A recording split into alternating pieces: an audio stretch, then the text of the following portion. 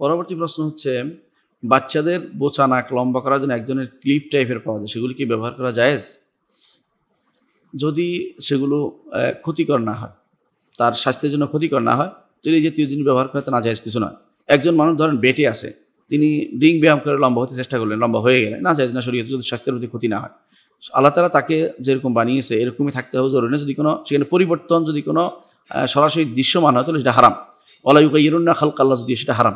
যেমন আপনার কেটে অপারেশন করে যদি নাক লাগাইতে হয়, সেটা হারাম হবে। সেটা হারাম হবে। অপারেশন করে আপনার বাঁকা নাক সোজা করতে এটা হারাম হবে। অপারেশন করে যদি কোনো আপনার হ্যাঁ আবার রোগ থাকলে এটা আলাদা কথা।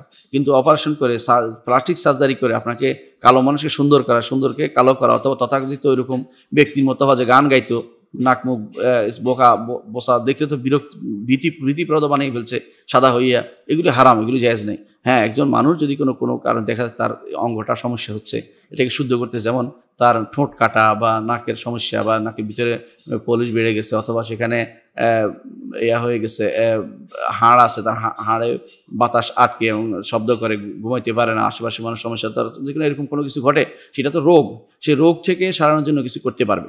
আর যদি সৌন্দর্য বর্ধনের জন্য এমন কিছু করে, যেটা সাধারণভাবে গ্রহণযোগ্য, যেমন একজন মানুষ ক্রিম ব্যবহার করল, এটা হারাম কিছু নয় একজন অথবা তার বোসা নাকের মধ্যে লম্বা কুলো টেনে টেনে থাকে হারাম কিছু নয়। কিন্তু এটাকে অপারেশন করে করতে হবে, এটা জায়জ নেই। অর্থাৎ এমন কিছু করা যাবে না যেটাতে অলাইগা ইরুন খালকাল্লা সৃষ্টিকে পরিবর্তনকারী এমন কোনো জিনিস, অর্থাৎ সেটাকে অপারেশন বা এমন কিছু করা যে দৃশ্যমান হয়, দেখা যায় যেটা করেছে, বা এটার কারণে পরবর্তী তাকে অনেক কিছু মেনে চলতে হবে, সারা জীবন সে এই করতে পারবে ওই করতে পারবে না, কারণ তার এটা পছন্দ হবে। তাহলে বোঝা গেল সে নিজের নিজের বিপদ ডেকে আনছে, এটা হারাম হবে, এটা করা যাবে না। তাহলে আমি বুঝতে পারছি কখন এমন সাধারণভাবে বাচ্চাদের নাক যদি আপনি টেনে টেনে লম্বা করে ফেলেন, ওইটা না যায় হবে না, কিন্তু ক্ষতিকর কোনো প্রভাব থাকলে সেটা করা যাবে না।